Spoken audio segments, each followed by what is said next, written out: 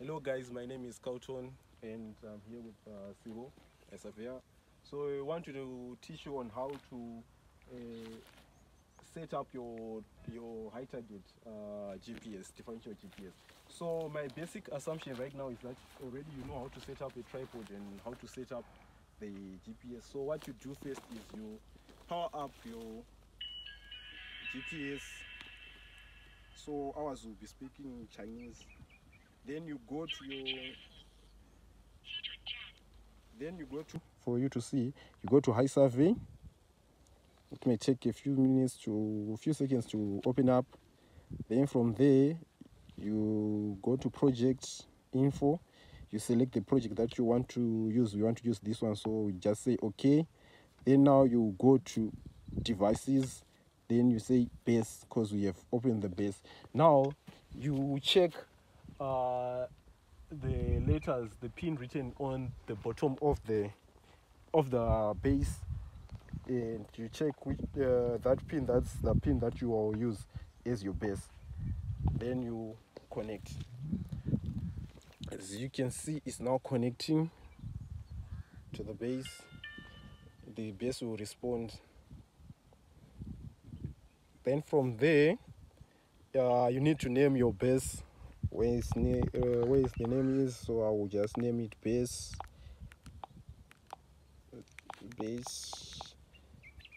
So from there you need to put the target height. See what will measure the target height for us?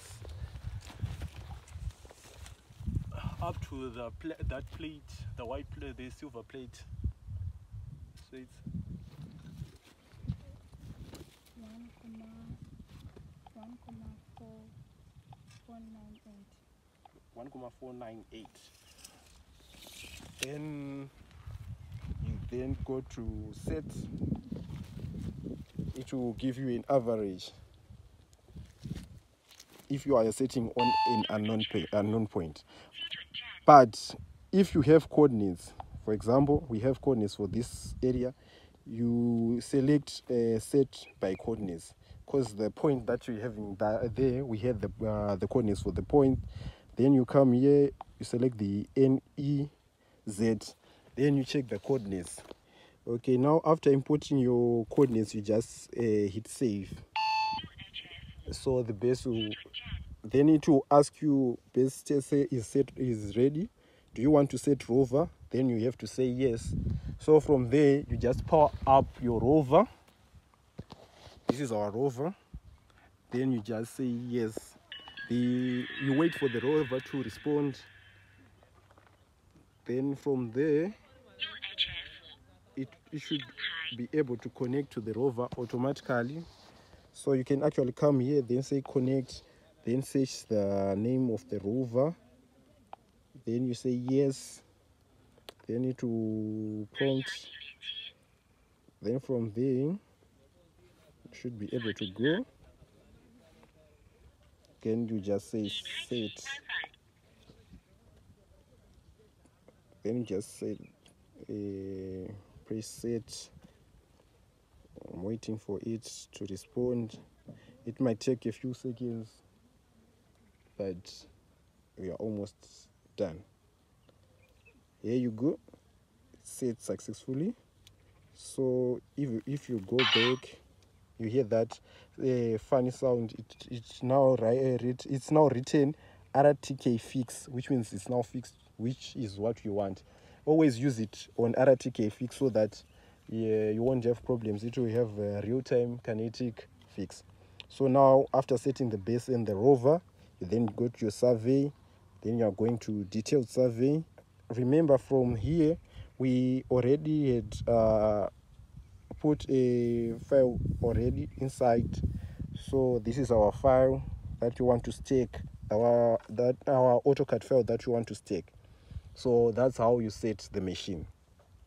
In some cases you might find that you, you had set uh, your GPS on uh, an unknown point then you want to calibrate it with a known point. So what you do you then allow you then go to that known point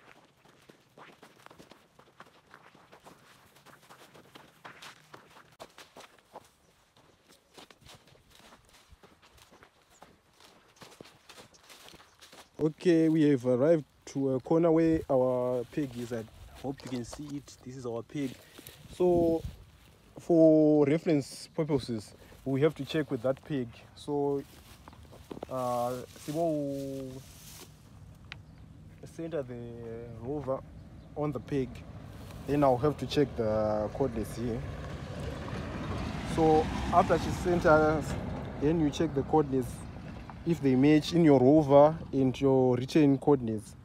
If they are okay then you can continue from there doing your survey. If they are not then you have to check your base from there. Then what you can actually do sometimes if you had set on unknown po- an unknown point you come back to project settings you go to written base correction you select that